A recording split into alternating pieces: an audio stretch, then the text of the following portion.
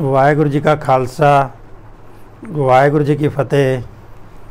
ਮੇਰੇ ਕੋਲੇ ਗੁੰਤਾਸ ਦਾ ਕਮੈਂਟ ਆਇਆਗਾ ਇਹ ਕਹਿੰਦੇ 10 ਸਾਲ ਦੇ ਬੱਚੇ ਦਾ ਪਜਾਮੇ ਦੀ ਕਟਿੰਗ ਦੱਸੋ ਅਤੇ ਸਿਲਾਈ ਬਾਰੇ ਦੱਸੋ। ਅੱਜ ਤੁਹਾਨੂੰ ਸਿਰਫ ਪਜਾਮਾ ਕੱਟਣ ਦਾ ਤਰੀਕਾ ਦੱਸਾਂਗੇ। ਸਿਲਾਈ ਵਾਲੀ ਵੀਡੀਓ ਜਿਹੜੀ ਅਗਲੇ ਵਾਰੇ ਪਾਵਾਂਗੇ। ਇਹ 10 ਸਾਲ ਦੇ ਬੱਚੇ ਦੀ ਤੁਸੀਂ ਕਟਿੰਗ ਦਾ ਪੁੱਛਦੇ ਹੋਗੇ 10 ਸਾਲ ਦਾ ਬੱਚਾ ਕਈ ਵਾਰ ਦੇਖੋ ਸਰੀਰ 'ਚ ਲੰਬਾਈ 'ਚ ਜ਼ਿਆਦਾ ਹੁੰਦਾਗਾ ਤੇ ਜਾਂ ਭਾਰੀ ਹੋਵੇ, ਸਰੀਰ 'ਚ ਜਾਂ ਪਤਲਾ ਹੋਵੇ ਤੇ ਇਹਦੇ ਆਰਡਰ ਤਰੀਕੇ ਦੀ ਕਟਿੰਗ ਹੁੰਦੀ ਹੈ ਪਜਾਮੇ ਦੀ। ਤਾਂ ਸਭ ਤੋਂ ਪਹਿਲਾਂ ਤੁਹਾਨੂੰ ਦੱਸਾਂਗੇ ਨਿਸ਼ਾਨ ਲਾ ਕੇ ਕਿਸ ਤਰੀਕੇ ਨਾਲ ਕਟਿੰਗ ਕਰਨੀ ਹੈ ਤੇ ਕਿਹੜੇ ਨਿਸ਼ਾਨ ਲਾਣੇ ਹੈਗੇ। ਦੇਖੋ ਜਿਹੜਾ ਪਤਲਾ ਬੱਚਾ ਹੈਗਾ 10 ਸਾਲ ਦਾ ਹੈਗਾ ਜਿਹੜਾ, ਤਾਂ ਪਹਿਲਾਂ ਆਪਾਂ ਇੱਥੇ 2 ਇੰਚ ਨੇਫੇ ਦੇ ਨਿਸ਼ਾਨ ਲਾਵਾਂਗੇ, ਜਿਹੜਾ ਨੇਫਾ ਮੋੜਾਂਗੇ ਅੰਦਰਲੇ ਪਾਸੇ। ਇਸ ਤਰ੍ਹਾਂ ਕਰਕੇ ਉਸ ਤੋਂ ਬਾਅਦ ਆਪਾਂ ਝੋਲੀ ਦਾ ਨਿਸ਼ਾਨ ਲਾਣਾ ਹੈਗਾ। ਝੋਲੀ ਦੇ ਨਿਸ਼ਾਨ ਜਿਹੜਾ ਲਾਵਾਂਗੇ ਪਰ 9 ਇੰਚ ਦੇ ਨਿਸ਼ਾਨ ਲਾਵਾਂਗੇ 10 ਸਾਲ ਦਾ ਬੱਚਾ ਹੈ ਤਾਂ। ਤਾਂ 9 ਇੰਚ ਤੇ ਨਿਸ਼ਾਨ ਲਾਣਾ ਹੈਗਾ। ਐਸੀ ਤਰ੍ਹਾਂ ਆਪਾਂ 9 ਇੰਚ ਦਾ ਨਿਸ਼ਾਨ ਇਧਰੋਂ ਵਾਪਰ ਇੱਕੋ ਜਿਹਾ ਕਰ ਲੈਣਾ ਹੈਗਾ। ਇਹਦੇ ਝੋਲੀ ਦਾ ਨਿਸ਼ਾਨ ਆ ਗਿਆ, ਨੇਫੇ ਤੋਂ ਬਾਅਦ ਲਾਣਾ ਨਿਸ਼ਾਨ। ਇਸ ਤਰ੍ਹਾਂ ਕਰਕੇ ਉਹਨਾਂ ਦੇ ਕੋਲ 2 ਇੰਚ ਨੇਫਾ ਮੋੜਨ ਵਾਸਤੇ ਨਿਸ਼ਾਨ ਲਾਇਆ ਇਸ ਤੋਂ ਬਾਅਦ ਝੋਲੀ ਦਾ ਨਿਸ਼ਾਨ ਲਾਣਾ ਹੈਗਾ। ਤੇ ਜੇ ਆਪਾਂ ਪੱਟਾ ਤੋਂ ਰੱਖਾਂਗੇ ਇਹਨੂੰ ਖੁੱਲਾ ਰੱਖਣਾ ਜਾਣੀ ਕਿ ਪਜਾਮਾ, ਜਿਹਦਾ ਸਰੀਰ 'ਚ ਪਤਲਾ ਹੈਗਾ, ਫਿਰ ਤਾਂ ਆਪਾਂ ਇਹਦੇ ਰੱਖਾਂਗੇ 10 ਇੰਚ ਪੱਟ। ਤੇ ਜੇ ਸਰੀਰ 'ਚ ਭਾਰੀ ਹੈ ਫਿਰ ਅਗਰ ਰੱਖਾਂਗੇ 12 ਇੰਚ ਪੱਟ ਇਹਦਾ, ਇਹ ਚੀਜ਼ ਦਾ ਧਿਆਨ ਰੱਖਣਾ ਹੈਗਾ। ਜਦੋਂ 12 ਇੰਚ ਨਿਸ਼ਾਨ ਲਾ ਲੇਗਾ ਪੱਟ ਦਾ ਇਹਦਾ ਵਿੱਚੋਂ 2 ਇੰਚ ਪਿੱਛੇ ਕਰਾਂਗੇ ਇਸ ਕੱਪੜੇ ਨੂੰ। ਇਸ ਤਰ੍ਹਾਂ ਨਿਸ਼ਾਨ 2 ਇੰਚ ਪਿੱਛੇ ਹਟਾ ਕੇ ਨਿਸ਼ਾਨ ਲਾਣਾ ਹੈਗਾ। ਉਦੋਂ ਬਾਅਦ ਦੇਖੋ ਨਾ 10 ਇੰਚ ਤੇ ਤਿਆਰ ਹੈਗਾ, ਤੇ 10 ਇੰਚ ਤੇ ਆਪਾਂ ਇੱਥੇ ਨਿਸ਼ਾਨ ਲਾ ਲੈਣਾ ਹੈਗਾ। ਇਸ ਤਰ੍ਹਾਂ ਕਰਕੇ। ਫਿਰ ਇਧਰ ਸਕੇਅਰ ਨਾਲ ਸਿੱਧਾ ਨਿਸ਼ਾਨ ਖਿੱਚ ਲਓ। ਇਹਦਾ ਝੋਲੀ ਦਾ ਨਿਸ਼ਾਨ ਹੈ ਜਿਹਨੂੰ ਆਪਾਂ ਆਸਣ ਵੀ ਕਹਿ ਦਿੰਦੇ ਆਗੇ ਤੋਂ ਬਾਅਦ ਆਪਾਂ ਲੰਬਾਈ ਰੱਖਣੀ ਹੈ ਜਿਹੜੀ। ਇੱਥੋਂ ਨਿਸ਼ਾਨ ਜਿਹੜਾ ਨੇਫਾ ਮੋੜਨ ਦਾ ਲਾਇਆ ਤੋਂ ਬਾਅਦ ਲੰਬਾਈ ਰੱਖਣੀ ਹੈਗੀ ਇਸ ਤਰੀਕੇ ਨਾਲ। ਮੰਨ ਲਓ ਉਹਦੀ 32 ਇੰਚ ਲੰਬਾਈ ਹੈਗੀ ਹੈ, ਤਾਂ ਆਪਾਂ 32 ਦੇ ਨਿਸ਼ਾਨ ਤਿਆਰ ਲਗਾਵਾਂਗੇ। ਉਦੋਂ ਬਾਅਦ 2 ਇੰਚ ਕਪੜਾ ਆਪਾਂ ਥੱਲੜੀ ਸਾਈਡ ਮੋੜਾਂਗੇ, ਜਿਹੜਾ ਪਹੁੰਚਾ ਮੁੜੂਗਾ ਥੱਲੋਂ। ਐਸੇ ਵੀ ਇਸ ਤਰ੍ਹਾਂ ਸਿੱਧਾ ਨਿਸ਼ਾਨ ਖਿੱਚ ਲੈਣਾ ਹੈ ਇੱਕੋ ਜਿਹਾ। ਇੱਥੇ ਲੰਬਾਈ ਤਿਆਰ ਹੈ 32 ਇੰਚ। ਆਹ ਦੇ ਥੱਲੇ ਕਪੜਾ ਮੋੜਾਂ ਜਿਹੜਾ ਉਹ ਹੈਗਾ।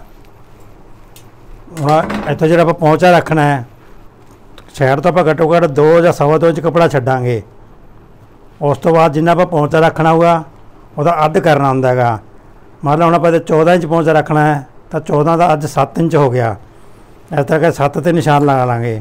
ਜਿੰਨਾ ਆਪਾਂ ਪਹੁੰਚਾ ਰੱਖਣ ਨੂੰ ਅੱਧ ਰੱਖਣਾ ਹੁੰਦਾਗਾ ਇੱਥੋਂ 7 ਨਿਸ਼ਾਨ ਲਗਾ ਕੇ ਫਿਰ ਇਸ ਤਰ੍ਹਾਂ ਫੱਟੀ ਦੀ ਸ਼ੇਪ ਦੇਵਾਂਗੇ। ਇਹ ਚੀਜ਼ ਦਾ ਧਿਆਨ ਰੱਖਣਾ ਦੇਖੋ ਇਧਰ ਬਾਹਰਲੀ ਸਾਈਡ ਪੱਟੀ ਦੀ ਸ਼ੇਪ ਦੇਣੀ ਹੈਗੀ। ਇਸ ਤਰ੍ਹਾਂ ਨਿਸ਼ਾਨ ਲਾ ਦੇਣਾਗਾ ਫਿਰ ਦੂਜੇ ਪਾਸੇ ਜਦੋਂ ਆਪਾਂ ਮੋੜ ਕੇ ਇਧਰਲੇ ਪਾਸੇ ਲਾਵਾਂਗੇ, ਤਾਂ ਪੱਟੀ ਦੀ ਅੰਦਰਲੀ ਸਾਈਡ ਨਿਸ਼ਾਨ ਲੱਗੂਗਾ।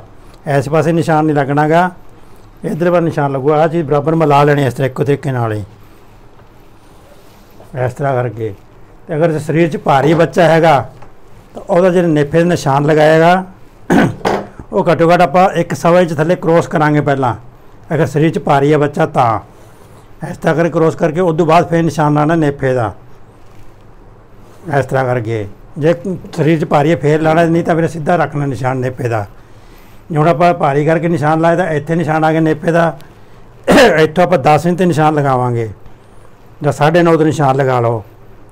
ਇਸੇ ਤਰ੍ਹਾਂ ਫਿਰ ਇੱਥੇ ਝੋਲੀ ਰੱਖਣੀ ਹੈ ਉਹਦੀ। ਅਗਰ ਸਰੀਰ 'ਚ ਭਾਰੀ ਹੈ ਤਾਂ। ਜੇ ਪਤਲਾ ਤਾਂ ਫਿਰ ਇੰਨਾ ਹੀ ਰੱਖਣਾ ਜਿੰਨਾ ਨਿਸ਼ਾਨ ਲਾਏਗਾ ਹੁਣ ਕਟਿੰਗ ਕਰਕੇ ਦੱਸਾਂ ਕਿਸ ਤਰੀਕੇ ਨਾਲ ਕਟਿੰਗ ਕਰਨੀ ਹੈ ਇਹਦੀ ਜਿਵੇਂ ਨਿਸ਼ਾਨ ਲਗਾਇਆ, ਉਸੇ ਤਰੀਕੇ ਨਾਲ ਹੀ ਕਟਿੰਗ ਕਰਨੀ ਹੈ ਇਹਦੀ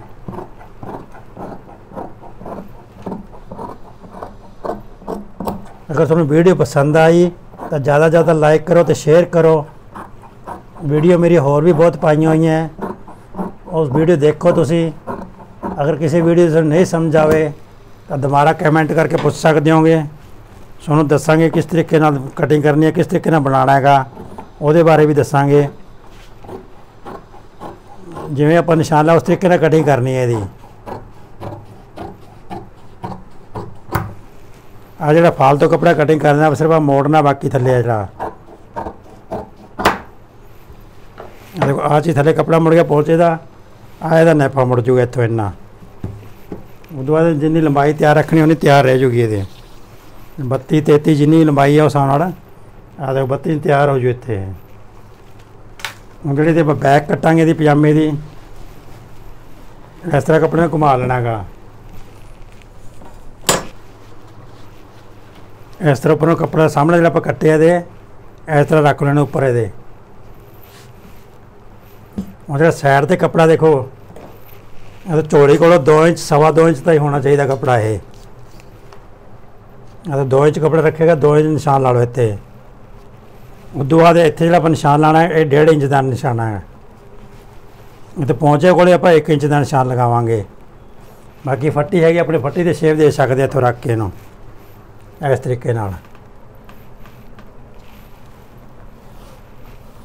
ਇਹ ਤਰ੍ਹਾਂ ਨਿਸ਼ਾਨ ਲੱਗ ਜੂਗਾ ਇਹ। ਜਿਵੇਂ ਹੁਣ ਆਪਾਂ ਸਾਹਮਣਾ ਤੇ ਦੇਖੋ ਕ੍ਰੋਸ ਕੀਤਾ ਸੀਗਾ, ਇੱਥੇ ਨਿਸ਼ਾਨ ਆਇਆ ਨੈਫਾ ਮੋੜਨ ਦਾ। ਇਸ ਤਰ੍ਹਾਂ ਫਿਰ ਇੰਨੀ ਬੈਗ ਚੱਕੀ ਜਾਊਗੀ ਇਹਦੀ, ਅਗਰ ਸਰੀਰ 'ਚ ਭਾਰੀ ਹੈ ਬੱਚਾ ਤਾਂ। ਅਗਰ ਪਾਰੀ ਨਹੀਂ ਹੈ ਤਾਂ ਫਿਰ ਇਹਨਾਂ ਬਰਾਬਰ ਹੀ ਰੱਖਣਾ ਹੈਗਾ ਇਸ ਨੂੰ। ਨੇਫੇ ਨੂੰ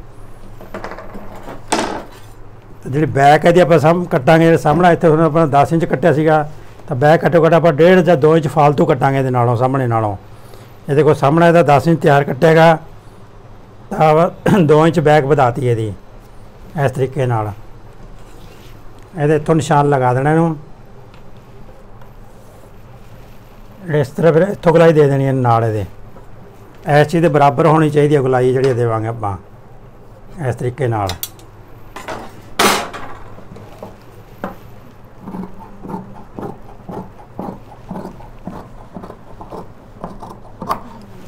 ਆ ਦੇਖੋ, ਸਾਈਡ ਤੇ ਜਿਹੜਾ ਕੱਪੜਾ ਵਿੱਚ ਇਹ ਵੀ ਕਟਿੰਗ ਕਰ ਦੇਣਾ ਵਿੱਚ ਨਹੀਂ ਰੱਖਣਾ ਇਹਨੂੰ।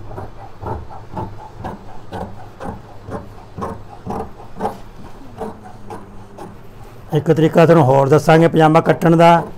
ਜਿਹਦੇ ਕਿ ਆਪਾਂ ਚਾਰੇ ਪੱਲੇ ਇਕੱਠੇ ਕੱਟ ਸਕਦੇ ਆਂਗੇ। ਅੱਗਾ ਪਿੱਛਾ ਵੱਧ ਕੱਟ ਕੱਟਣ ਦੀ ਲੋੜ ਨਹੀਂ ਗਈ ਚਾਰੇ ਪੱਲੇ ਇੱਕੋ ਜਿਹੇ ਕੱਟੇ ਜਾ ਸਕਦੇ ਨੇ। ਇਹਦੇ ਕੋਈ ਸਰੀਰ 'ਚ ਭਾਰੀ ਹੈ, ਤਾਂ ਉਹਨੂੰ ਆਪਾਂ ਬੈਗ ਚੱਕ ਸਕਦੇ ਆ ਜੀ। ਇਸ ਤਰੀਕੇ ਨਾਲ ਨਿਸ਼ਾਨ ਲਗਾਵਾਂਗੇ ਕ੍ਰੋਸ ਕਰਕੇ ਇੱਥੋਂ। ਜਿਵੇਂ ਹੁਣ ਆ ਸਾਹਮਣਾ ਸੀਗਾ, ਮੋਟੇ ਬੰਦੇ ਵਾਸਤੇ ਬੱਚੇ ਵਾਸਤੇ ਹੈਗਾ। ਇਹਨੇ ਇੱਥੋਂ ਕ੍ਰੋਸ ਕੀਤਾ ਸੀਗਾ ਐਨੀ ਬੈਗ ਚੱਕੀ ਗਈ ਇਹਦੀ ਅਗਰ ਸਰੀਰ 'ਚ ਭਾਰੀ ਹੈ ਬੱਚਾ, ਤਾਂ। ਨਹੀਂ, ਫਿਰ ਬੈਗ ਚੱਕਣ ਦੀ ਲੋੜ ਨਹੀਂ ਉਹਦੀ। ਆਉਣ ਵਾਲੀ ਵੀਡੀਓ ਤੇ ਦੱਸਾਂਗੇ ਤੁਹਾਨੂੰ ਬਣਾਉਣ ਦਾ ਤਰੀਕਾ, ਕਿਸ ਤਰੀਕੇ ਨਾਲ ਸਿਲਾਈ ਕੀਤੀ ਹੈਗੀ ਅਤੇ ਕਿਵੇਂ ਸਿਲਾਈ ਕੀਤੀ ਜਾਂਦੀ ਹੈ। ਉਹਦੇ ਬਾਰੇ ਵੀ ਦੱਸਾਂਗੇ ਤੁਹਾਨੂੰ। ਦੇਖੋ, ਪਜਾਮਾ ਕੱਟ ਚੁੱਕਿਆ ਇਸ ਤਰੀਕੇ ਨਾਲ ਪਜਾਮੇ ਦੀ ਕਟਿੰਗ ਕਰਨੀ ਹੈ। 10 ਸਾਲ ਦੇ ਬੱਚੇ ਦੀ ਹੈ। ਪਜਾਮੇ ਦਾ ਨਾਪ ਜਿਹੜਾ ਕਟਿੰਗ ਦੱਸਿਆ ਗਿਆ ਤੁਹਾਨੂੰ। ਵਾਹਿਗੁਰੂ ਜੀ ਕਾ ਖਾਲਸਾ, ਵਾਹਿਗੁਰੂ ਜੀ ਕੀ ਫਤਿਹ।